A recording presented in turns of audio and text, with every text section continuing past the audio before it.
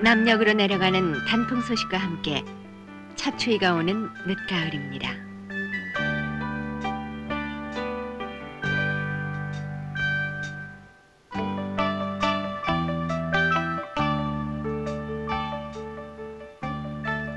대풍작을 이룬 올가을 농촌에는 추곡 수매가 시작됐습니다.